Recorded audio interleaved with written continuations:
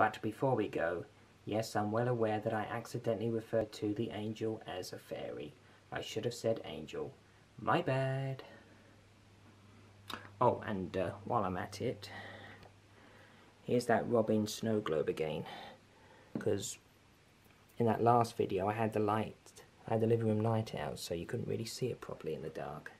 So here it is again.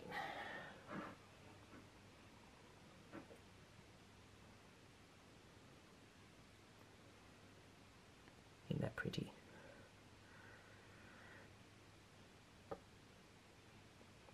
And as I say, without the snow, it doesn't always look like a Christmas uh, display there. It looks like it could be up there all year round, so therefore we probably won't bother putting it away after Christmas.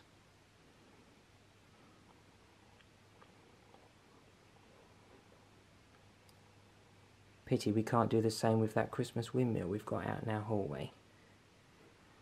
Because if it wasn't for Santa, we could have left that up all year round too. Then I wouldn't have to take the sails off after Christmas. Oh well. Oh, I forgot our two little Santas here. Sitting by the TV. Well, I think that's more or less everything now. Oh, just one last thing. As you can see, I made an effort to put the presents under the tree after all. Thereby keeping those two Prezzies company that are for Ernie and Topsy.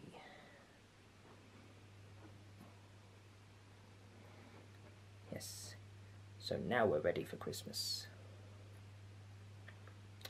Well guys, as I'll uh, probably be busy on Christmas Day, you know, making the most of it while we're in lockdown, I'll probably won't be making any videos to put on YouTube on Christmas Day. So therefore, I shall wish you all a happy and safe Christmas. Take care.